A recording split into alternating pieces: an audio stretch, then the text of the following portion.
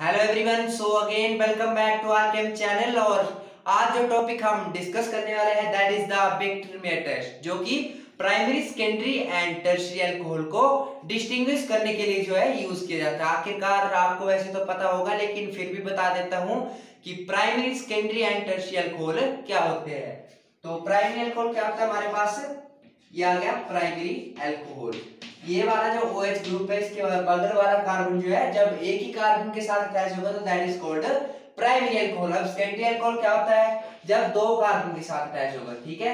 ये आ गया हमारे पास secondary alcohol that is called secondary alcohol यहाँ पर ये वाला कार्बन जो है वो कितने कार्बन के साथ अटैच है? दो। तो that is called secondary alcohol अब टर्शियरी क्या होता है? जब तीन कार्बन के साथ अटैच होगा, क्या? ये वाला OH और इसके बगल वाला कार्बन जो है वो तीन कार्बन के साथ अटैच होगा तो that is called tertiary alcohol क्या बोलते इसको?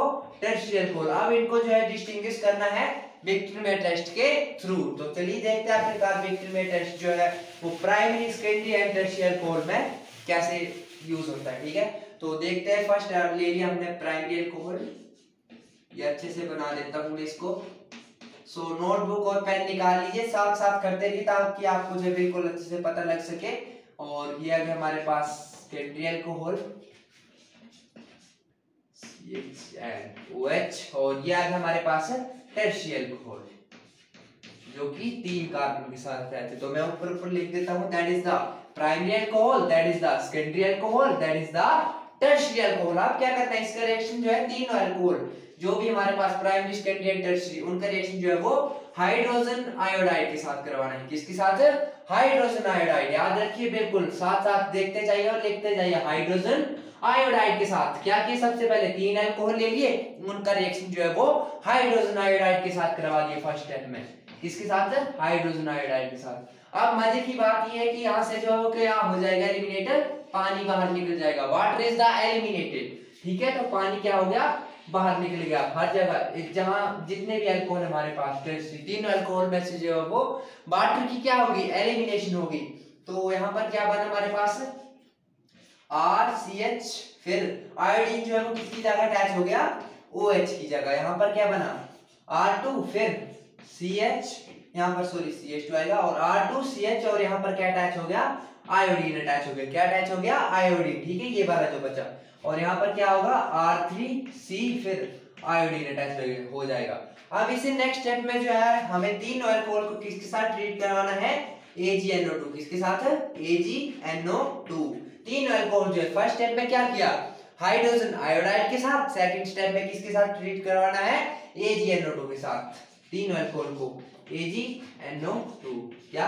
AgNO2 के साथ क्या किया? ट्रीट करवा दिया। AgNO2 अब आपको पता ही है कि सॉरी आयोडीन जो है वो क्या है? बेस्ट लिविंग ग्रुप क्योंकि इसका साइज़ जो है वो बड़ा है तो जिसकी वजह से जो क्या है, ये जल्दी लीव कर जाता है, ठीक है? तो आयोडीन हमारे पास बेस्ट लिविंग ग्रुप है तो यहाँ से जो है एजीआई क्या हो जाएगा? बाहर निकल जाएगा सभी में से, जितने भी यहाँ पर है।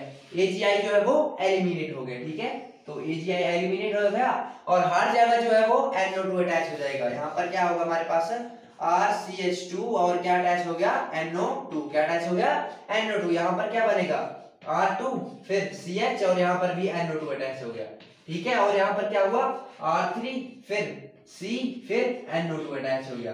तीनों जगह क्या हो जाएगा अटैच एनओ टू फिर से बता देते हो, सबसे पहले हाइड्रोजन आयोडाइड के साथ ट्रीट करवाया। पानी जो है वो एलिमिनेट हो गया। यहाँ पर भी पानी एलिमिनेट वहाँ पर भी पानी एलिमिनेट और आयोडीन जो है वो हर जगह क्या हो गया? अटैच हर एक कार्बन के पास।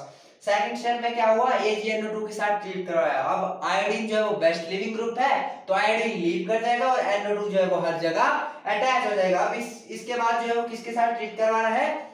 HONO किसके साथ?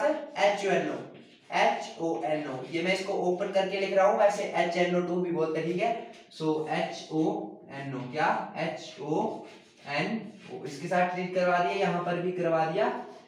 HONO तो क्या होगा यहाँ पर जो यहाँ पर है हमारे पास प्राइमरी अल्कोहल मैं इसको थोड़ा अरेंज करके लिख लेता हूँ ये आ गया। फिर एन फिर ओ एच ठीक है? ऐसे अरेंज करके लिख ले तो यहाँ से क्या हो जाएगा?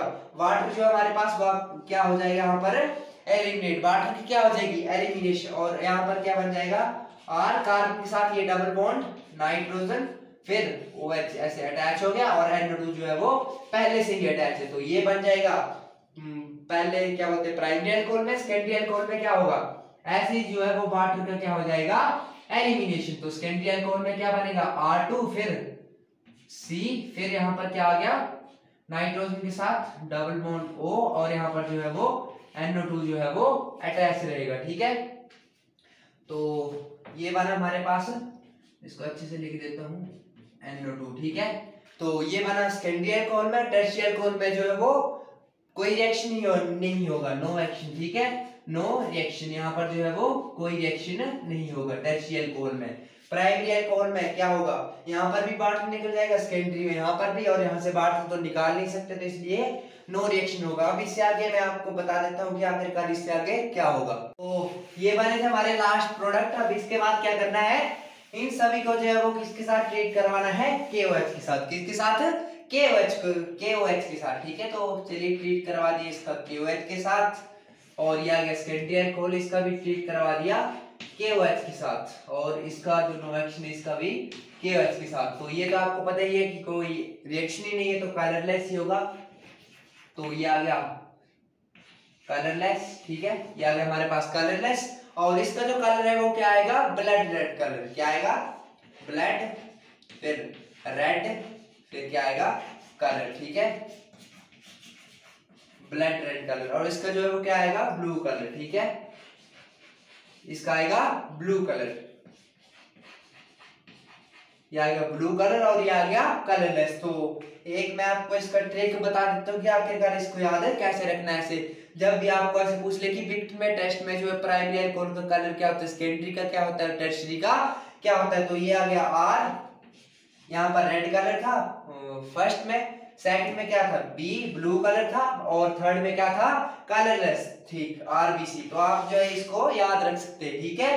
किसके लिए? विक्टर में टेस्ट के लिए। RBC R means blood red colour जो कि प्राइमरी में आएगा और बी मीन्स ब्लू कलर जो कि कहाँ आएगा? सेकेंडरी में। और सी मीन्स कलरलेस जो कि आएगा टर्शरी में। तो ये था हमारा बहुत ही प्यारा सा टॉपिक और थोड़ा इंटरेस्टिंग भी था। पर आपको पता नहीं कैसा लगा होगा, लेकिन अगर अच्छा लगा तो इस वीडियो को लाइक करें और मिलते हैं अगली वीडियो में। तब तक के लिए धन्यवाद।